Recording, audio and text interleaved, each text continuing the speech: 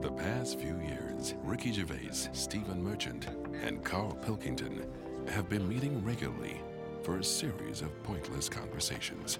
This is one of them. Testing. Is that all right? Hello and welcome to the Ricky Gervais Show with me, Ricky Gervais, Stephen Merchant. Hello. And the little round-headed buffoon that is Karl Pilkington. All right.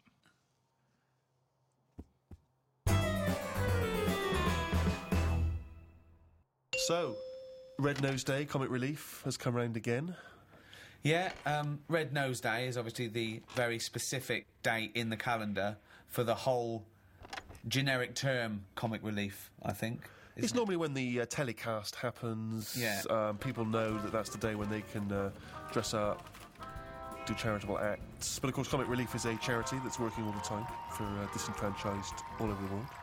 Are you? Have you always been a strong champion of Comic Relief, Karl? Not really. Why um, was I expecting that answer? But I do loads of stuff without going on about it. My gift to the world has been you, Karl, to be quite honest. I feel that you're the world. I'm now. sure there's people in Africa going, we, we prefer blankets. Yeah! Doing a, a wills charity, innit? is it? Sort of. I mean, if No, you if you make half if you make a donation to a charity within the will, I suppose that's quite charitable. But Do just mean- giving money to your relatives isn't, is it? Of course it is. Well, They it shouldn't is, have it's- it. They're They getting something for nothing, but it's. I, mean, I don't know. It's giving something away that you have no use for. exactly. Yeah, mean, but, but forget that. It's someone is getting something Yeah. when they've done nothing for it, really. Well, it is. I suppose it is charity, but charity is usually infused with some sort of altruism. It's it. It's like it's not charity on your part because you're literally not around anymore. So it's no longer you giving it. It's just some yeah, but I could, I could either was. give it them or not give it them. Once I'm dead and I've turned to mush, I shouldn't be worrying about Suzanne's mum getting a table. Is that what, is but that you you're leaving her? Well, I've, I called up my dad first. Why are you and said- doing a will for the Because show? of this travel thing Right, I'm yeah. doing, and it can get dangerous, you know. But why haven't you done a will up to now? Because you sort of, uh, I don't know, I felt sort of young and free. Whereas now I'm. Never. That's never two words I've associated with Karl. He's always seemed like a man who's in his late fifties. Yeah, and exactly, certainly yeah. never the idea that you're free. It's I- I- more- even if we're just talking about the head alone, it's it's the it's the head of a late fifty Free of hair. Yeah, totally free of fucking hair. I'm sort of getting on first name terms with my doctor, oh, really? Chatting more. Oh, what is it this time? How's your middle finger? You Not know. too bad, Karl. all, all that sort of thing. So it's just made me think. Have you had that done for the will, by the way, for insurance I think and you stuff? need to, don't you, for a will? I think you do. There's nothing on the prostate paper. exam? No. No, uh, listen, for insurance purposes, I think you need to have um, a testicular exam for testicular cancer. You're just leaving the high risk for testicular cancer, actually, and you're you're entering the high risk for prostate cancer. and you can have both at the same time. You could have both the at the, same time, at the same time. if he's a very dexterous doctor. Um, I wouldn't want that. why? Too much like It's just too, Too much playful. going on. It's like someone juggling you. yeah, it's like being examined by Squiddly Diddly. And so you said you called up your dad, Called him up. I said, "Is there anything you want if, I- if, I, if I die?" right? And presumably, you know, Suzanne, she's getting the she's getting the lion's share. She is. But then the fella who was on the end of the phone talking us through it all was going, "Oh, you should get married." I was going, "Oh, shut up." He's saying, "Well, it make it things a lot easier when it comes to this," and it's like, "Well, that isn't a reason to get married, is it?" Well, so she can have all my stuff. I said, "I've wrote on the bit of paper that she can have it, but it's something about um, tax. If you're not married, you have to hand over more. I think you get so much, and then it's like ridiculous tax rate." yeah. But she's going, you, that's why we should get married. I'm going to be paying tax. I'm going, hang on a minute. She's already like thinking about money loss instead of me b- disappearing. Yeah. She's going, yeah, we should. I'm saying, look, you'll be getting a load of money. I said, if I die on this programme anyway, I'm mm. insured. You'll Yeah. be getting about a million pounds for that. Yeah, I said, so that's that's something you haven't got now. yeah, Got nowhere near that now. I said, so even if you have to pay tax on that, yeah. I, I don't think it'd be right to get married just in case I get killed. Have your two, two sets of parents met? No. That'd be good, would it? Well, I suppose it's a reason to, isn't it? At least if you're getting married, there's a reason for them to meet. At the moment, there's no reason for them to meet. They'd get on each other's nerves. My dad wouldn't get on with a man. Why? Just wouldn't. She doesn't like me, so she won't like me dad. Because he's just an exaggerated version. so, I think uh, it doesn't need to happen. But you could just nip down the registry office, get it done, done and dusted, and you just phone up your folks and say it's already happened. I it's too said late." that. I said, listen, if we had to do it, I said if, if it was like we've got to do it for some reason, Hmm. I- I said I'd do that. You, we can have it done by two. You can be back in work for three. because at the end of the day, there's no other. There's no. You know, we've known each other for years. Yeah. We're not going to suddenly turn into some sort of Tom Hanks and Meg Ryan film just because we've got married. It's going to be the same, exactly the same. Yeah. Me and Jane were out with him and Suzanne the other night, right, at, at dinner, and honestly, he is so, so grumpy. He was saying about uh, uh, for Christmas, right? He said you've had a flaw. you've had a flaw. Now, what did that mean? We had a new floor put in But how is that her floor? because she wanted it. But you walk on it too. I paid for it. I don't understand what you mean. But you don't mean. you understand that, like, a, a, a, you know, a romantic break or a, or clothes or perfumes, you know, sort of things that are kind of indulgent for a lady. That's that's a gift, not Yeah. a new floor. That is like something that you give to some little African fella on comic relief. In fact, I think I saw it once. He didn't have a floor. Exactly. They built him a floor. I, I remember watching it with you, and they gave him a new pair of shoes and the floor. He went, hold on, floor or shoes, not both. so you think charity is all right as long as people don't get above their station with charity, I think it should be there as a little little booster. right? They've always got their hand out, Right. and it's been like that since I was a kid. Yeah. I remember being a kid, people mm. knocking on the door, my mum going, "Don't look at the door, there's someone there," and we just pretend they weren't Charity there. starts at home, not at your home. No, but because it's all the time. I mean, my mum didn't like answering the door anyway. Even if it was the pools man, she'd sort of say, "Don't move," and he might not see that we're here. so you just froze where a man was at the door, Well, you just because the front room was near the door, so people Right. could see in. right? So you just sort of stayed there and pretend that either you Well, so can't hear like him. some sort of predator, like they can't see if you don't move. Well, even if he was peering in through the window and he could see you in there not moving, So he looked through, and there was three people just frozen, right, right, like statues, right, just their eyes looking at him, Yeah, and well, him confused. Well, not- they're clearly dead. I'll move on. There's, there's obviously been a gas leak. and did you did you say sitting or stand up, or did you sort of like throw yourself No, to we the just we just sat we just sat on on the you know where you were and you just stayed still. But did he ever look in and see? I don't know because you didn't turn around, did you? So you would pretend you couldn't hear the door. it seemed to be the 80s. Had a lot of it because it was Yeah. all the Avon thing, wasn't it? It was perfume, Yeah. Tupperware, What? Tupperware. Tupperware. Yeah, the plastic boxes. It's, Tupperware. it's dishes for fat people. Uh, here we go. Oh, these are big. Good they are. They're for fat fuckers like you to eat out of. just a lot of charity stuff. Just a lot. It seemed to be the time, the 80s, that they suddenly found out they can sort of scav money off people. Okay, right. Let's do the scenario. I'm I'm at the door. Uh, I can I can see you in there. You might as well come open the door. Karl. Karl. Why are you staying so still? Are you, are you trying to avoid me? It's working. Karl, your eyes are moving. Can you come to the door, please?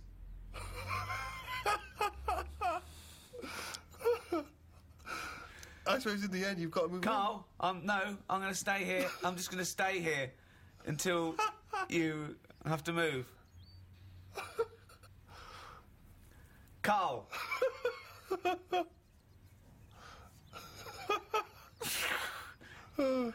okay, and I'll move on then. Right. It works. Yeah. Works okay. perfectly. Because Brilliant. once they've got you, that's the whole thing with charity. Once they've stopped you in the street, if you've stopped, that's it. Keeps on going. I mean, the good thing now is you've got an iPod, so you can just either pretend you're on the phone mm. or listen to music. Or just stay very still. just freeze. When someone says, Can I trouble you? For... oh, he's totally frozen. That would be amazing because they're normally in one spot, aren't they? Yeah. So it's just So they're carrying on selling, stop and, you, and so you've got to stay there for the rest of it outside Waitrose. yeah. For seven hours. yeah, it goes dark. well, I'm. I've finished my shift. I'm off, and then you just see you, your eyes just see them walk away like that, and they all meet in their little tunics, and then you start walk. They look back, and you freeze, and then they walk on, and then you can go home. Seven hours late. Ever since I was young, I've always liked going in charity shops, particularly because you know you can you find sort of interesting old records in there. Never sort of gone in there to buy clothes and stuff, but you know books, whatever. And uh, I was in a charity shop, you know, and I've patroni- patronised them for years, and I noticed out through the window there was like a paparazzi guy, and he was taking pictures of me through the window. It was a bit weird. And obviously, the old ladies in there didn't have any idea who I was, so they just thought that was a bit strange. And then it was in one of the uh, the magazines, like the kind of celebrity magazines. Was, oh, here's Steve Merchant. You know, he, despite all the money he must have made from his various projects, he's still going in charity shops. And you just think, but sorry, how is that a bad thing? Like, I'm, Yeah. I give a lot of stuff to charity. A lot. Most of the time, just because it's, it's nearer than the wheelie bin is. It's just a way of getting rid of garbage most of the time with me. Stick it all in a bin bag, good stuff on the top, the stuff that you're embarrassed about, Yeah. stick it in the bottom of the bag. What are you run embarrassed in, about? Just old shoes, trainers, some of the books you've written. uh, socks, underpants. Underpants. You do not give underpants to charity. Washed. But who's gonna wash? I know, as opposed to just like peeling them off. yeah. Well, you And didn't- I don't know why you've got a problem with underpants, but shoes. You see, I'd Who's never buy buying shoes. underpants from a charity shop? Though? I mean, I don't care how low you are on the socio-economic level. I know. You can get about 14 pairs for a quid in some places. I know. I don't know who's buying underpants. I don't know who's buying your underpants. I definitely don't know. I mean, if they were signed, yeah. That, that is Fans. something. That is something I like doing though. When I've given to charity, I Mm. like going past the shop and seeing if it made it in the window. any success? Yeah, re- recently the one not far from here had me um, egg cups in the window. So it's like, oh look, there's, What, there's you've that. got a new set of egg cups, so you've got rid of your old ones, Yeah, I Um, don't think we've got any egg cups. haven't you? but there's nothing wrong. Honestly, it's hardly. Be- I mean, it's made the window space. That's how good it was. It had hardly been used that egg cup because it was a doubler, and I think they were quite small for the egg size that I get. I think they were made more for the small egg, and I have the large egg. Right. So it was. It was never really Just used. like your underpants. But um, a bit of a dilemma that um, my auntie Nora had. She likes charity shops as well. Uh, she's got a neighbour. Went out to Gracelands, big Elvis fan. Came back. She said, "How was how was Gracelands?" I said, "Oh, it was brilliant. We've got a gift for you." Right? They get out this clock, like a like a little sort of. It's like a Swiss. You know the Swiss sort of? Um, looks like a little clock. house, like a cuckoo clock. Mm. But on the hour, little Elvis comes out the top and goes, so she went, oh, cheers. She's not really into Elvis. She's more into Jim Reeves and Yeah. uh, Yeah. Glen Campbell and stuff. Yeah. But what can you say? She said, oh, thanks, thanks for that. She took it in the house. Maybe they could uh, get attachments. Maybe you get a little uh, Jim Reeves to pop on the spring, and, it, uh, and it, that pops out, or whoever. So know. anyway, it's in the house. She's thinking, I'm not going to put that up. It's not her sort of thing. So uh, thinks, give it to charity. Of course. She goes down to the charity shop, gives them that, thinks nothing of it, goes off to the pub for afternoon drink. Mm. Anyway, next day she's going out for afternoon drink again. Passes the charity shop. It's in the window. And the chances are her friends are going to pass by. That was a dilemma. Of course. She had to buy it back. That's brilliant. At a hugely inflated price. Comic Relief here is a sort of um, it, it happens every other year, and you know people often do things um, in their workplace or at school. They can dress up, they can raise money in different fun ways, and we were told in a school assembly was Comic Relief next Friday. Everyone has to come along dressed up in fancy dress to school on that day. Has to. Yeah, they said have to have to dress up. That's annoying, isn't it? So I, of course, I'm looking forward to this because you know I'm a sort of aspiring comedian and that get to dress up like a clown, right? Spent Wow. quite a lot of time getting the old clown outfit together. What did that look like? the What- shoes, obviously, I just wore my regular shoes. exactly. Yeah. But I had the red nose, wig, Wow. you know, the whole deal. Bow, big bow tie that my mum made for me. Like, you know, I thought this is going to be the best day ever, right? Get to school. I want you to picture this scene, right? During the assembly in my class of 30. School uniform, school uniform, school uniform, school uniform, school uniform, school uniform. Lanky kid dressed as a clown. School uniform, school uniform, school uniform, school. So obviously no one showed up. Dressed like an utter dick, except What- me and what- about two other knobs. What disappoints me is that for a man who was um, a self-confessed uh, uh, aspiring comedian, you chose the least funny thing in the world to dress as. Yeah. It- clowns are anti-comedy. They suck comedy out of the room. It's not. You're right, and this is from a man who wanted to dress as Hitler at the Golden Globes. now that's funny. he knows funny costumes when he thinks. But you were saying about the guys who bother you in the street. Did I tell you that when I pretended to be foreign to try and get out of that? Did I tell you that story? Amazing. I've periodically used this method throughout my life, and not so long ago, a guy stopped me with one of those charity tunics, and I sprang into my old trick. I was like, "Sorry, I don't." Um, uh, A a- a- a- an elderly Russian woman. I don't know what voice that is. I don't know what accent it went, it went from vaguely French Yeah. to sort of Eastern European beggar. Yeah, I, I don't know what it was. And the guy, and I was of, I don't. Uh, he was, well, just let me explain to you about. I, sorry, I'm not from. Um, and the guy, This world. yeah, I am from planet Snork. and the guy said, uh, "Are you Stephen Merchant?" No. Swear to Sorry. Not when you were famous. Oh yeah. No, you didn't. Yeah, because I hadn't. It hadn't occurred to me. I just. It was like a lapse of concentration. God. It was a almighty. lapse of concentration because um, And did your bow tie spin round and you squirted in the water and ran away? That's what I did, because I, you know it's one of those things where you know you don't always remember that you've been on the. T- it's not like I That's instantly remembered that. Amazing. So, but look, so he says, "Are you Stephen Merchant?" And I, and then you're at this position where you've got to go. Either you've got to admit what you did, or you've got to carry on the lie. and I chose the second one. So I was kind of like, I don't, I don't know who that is. What? I don't know what you're. And he was like, Oh, God. Really? You look a lot like him. I was going, I've never heard. I don't. In fact, you are Stephen Merchant. Freeze. I'm always getting stopped for for. I mean, there's so many charities now. It's not just starving people anymore. It's everything. Yeah. One little fault, they're out there with a clipboard Yeah, a asking lot, of new, bank a details. lot of new diseases have Definitely. cropped up. But that shouldn't be allowed. I think they should have like one year where they go this year. Uh, you know, hungry people. Right. Next year, people with a limp, or just like they do in, with- the China thing, with the year of the cat, year of the rabbit. It's very clear. Yeah. It's that year. That's who we're helping this year. Right. If you've got that problem, it's your year. You're going to have a good one. and who decides? Uh, just have some meeting. Just have a meeting with uh, the, what would be the, charity. first year? Sh- What would be the first year? This year. Right. Well, we'd we'd look at it and we'd go right. What what are we hearing a lot of problems about? And someone goes, so and so's hungry. Go right. Are we all in? Are we in to give this lot food?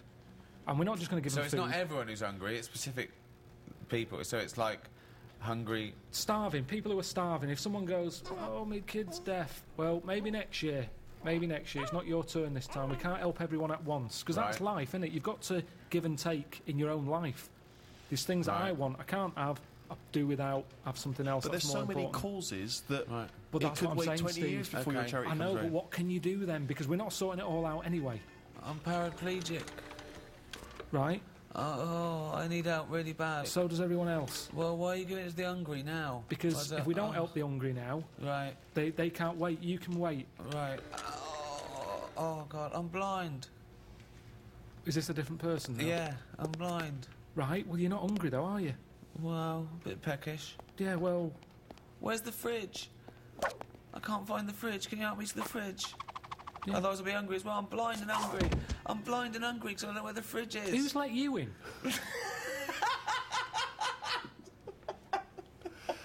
But Karl, this this is just it's Just a some chaotic order. idea. It's, It's a chaotic not. because people who are hungry, there's there's always going to be people who are hungry. Yeah, but I sort the problem out How do you sort it out? because I'll go right. Not only are we just giving you food, Right. We're giving you some seeds. We're giving you a pan. What we're you think they haven't Let thought me of hear that? the theory, please. Sort it out. Don't just give food. That's going to run out. Right. Give them a proper. You see, the problem is these companies who jump on the back of all. Do you know when I was in the Okay. jungle? When Right, I was okay. in the jungle, Yeah. right, on that travel thing. Yep. I was in that tribe, right? Now, some company had given that tribe a laptop because it makes them look good. They can send out a press release. Mm. Well done to so and so computers. Right. They supplied the tribe in, you know, out of Amazon with a computer. I saw it. They were using it as a breadboard because they don't know what it is. They've got no electric. It's useless to them. Right. And that's what charity does Right. companies use it to make them look good. When I was there and I really needed to go to the toilet, I was thinking, our tribe, I wonder what their toilet facilities are like, right? Thinking they might, it might be better than just doing it in a hole. Surely they've built a toilet. They're not stupid people. They kill animals. They know what they're doing. They know how hmm. to cook. Surely they've built some sort of unit. Turns out, they don't. They still do it in a hole. But some company had been there, some plumbing firm, and given them a toilet, hmm. right? The bloke who, you know, the producer who was out there, he said, "Oh, you'll be happy. There's a toilet round the back there." I'm thinking, "Oh, brilliant." I go round there. It is a toilet, but it's not plumbed in. Sure. So it's just a vase with shit in it. It doesn't work, and this is what we need to do. We need to get out there and say, "This is how it works." Educate them. Okay, so let's do this then. Um, so I'm a starving African. Hello, Karl. C- have you got any food? Got any? Got any food? Got any sandwiches? Well, I have, starving. but if Right. I give you my sandwich, yeah. there's someone else behind you, Right, and they'll okay. all come out. So what are you gonna do then? What are you gonna do? I'm going to help you. How? What are you gonna do? I'm going to I'm going to make you think about how to make food. Oh, okay, right. Uh, have you ever grown anything before? No, no. Right. Well, No. here's some seeds for oh, brilliant. potatoes. Oh, thanks, Karl. See you later. Do I just put them in the ground, yeah? Put them in the ground and water oh. them. Oh, there's no water, you dopey cunt. There is some. No, water. there's no water, you dopey cunt. That's why we're starving, you dopey cunt. Right. Well, at that point, that's where I go. Well, this is a lost cause here. Right. There's no point. Can I have your So sandwich then- after all? No, or you're what? not having it. You're right, not having it so not only can I have a sandwich, you give me seeds with no water, you useless, bald-headed fucking twonk. Right. But all I've done there is made the mistake of the computer firm who's given a laptop to a tribe. Right. It's useless. Right.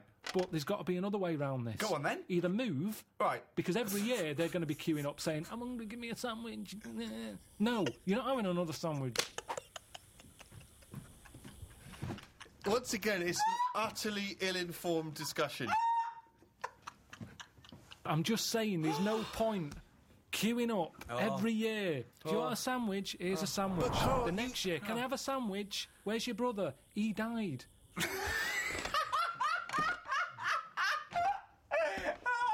It's not oh, sorting anything. It's buying him an extra day, an extra month, or something. But it's Karl, pointless. the point is, like Ricky's just flagged up, is that some of these countries, the the conditions, He died. the conditions are not there to just be able to plant potato seeds.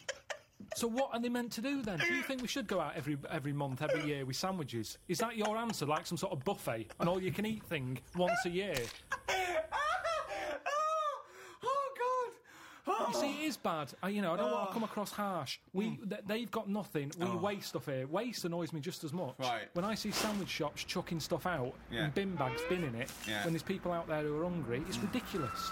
Yeah. But I don't, I don't understand. Right. It's a problem that isn't being So solved. your so your conclusion for these people, because there's no water where they are, right? Is move. That that is your honest. They should well, move. well, well, what's your solution? Well, I, I, I don't know. I don't know the ins and outs. I don't, I don't even uh, pretend to know. Um, but But I tell you, it's not just just it's sticking a what's that saying? I don't know. It's sort of sticking a plaster over a hole or something, and the Yeah. plaster comes off. It's a problem again. yeah, that's just, that's the It's- saying. Yeah, it's the same- I think that was Mark Twain.